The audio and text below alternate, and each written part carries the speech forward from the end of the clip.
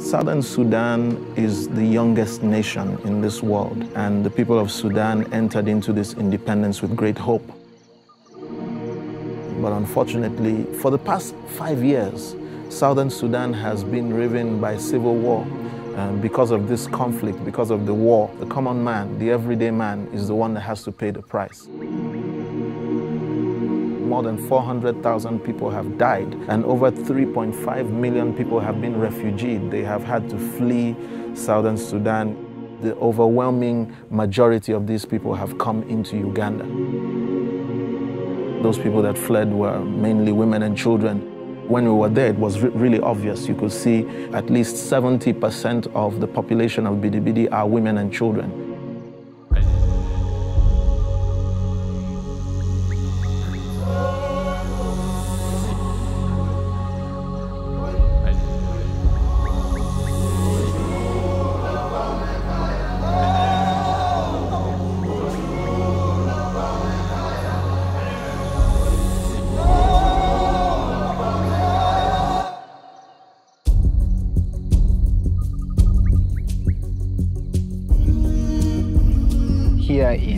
In Bidi there are so many people that have given us testimonies.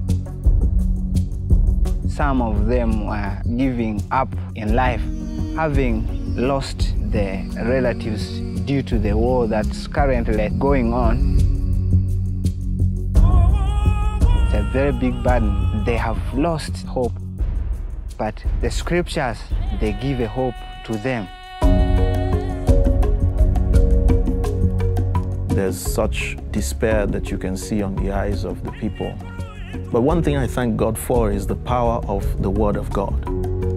It is living and active. And we saw literally that the Word of God is able to transform the despair, to transform the hopelessness of these people into a hope that is beyond description.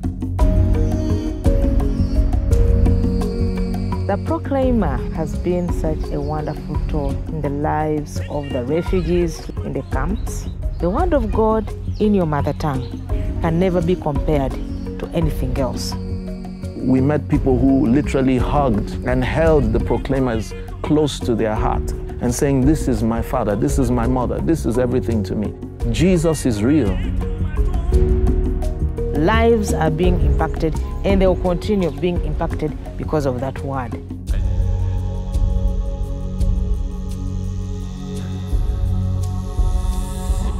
I was really impressed by their ability to trust God for anything, and they trust that God is able to handle the situation that they have.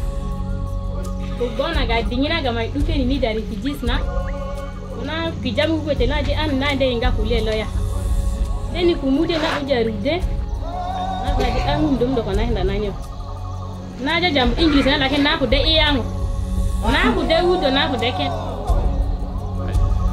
soti duga ina progna na proclama na ina prondi na tindi ngunu iye tena di ngunu akoya kuna beta badi kina mondi ina da tulinyo na gbada nago nago nago iupe bona gati na de na yinga o na de na kukurundo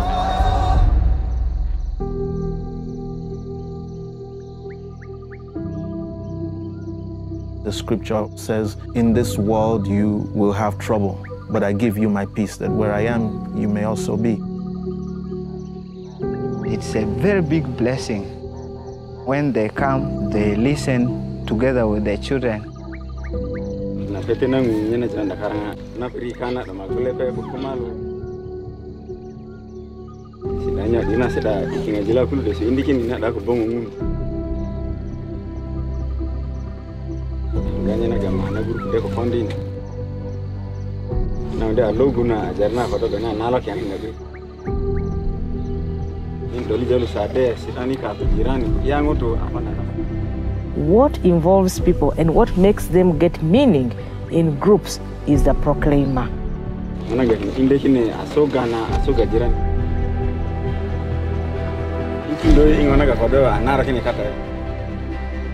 They seem to have a, a higher sensibility to the voice of God,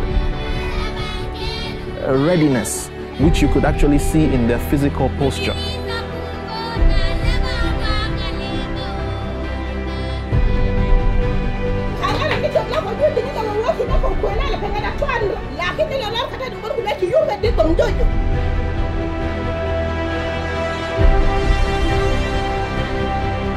We met people who could tell their story with a smile.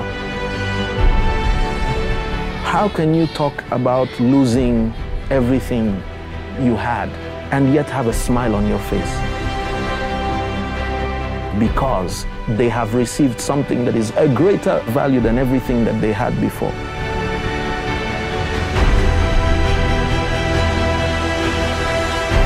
God is taking care of us, and this is not going to last forever.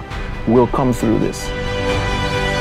I saw that aspect of hope that was brought by the audio scripture. It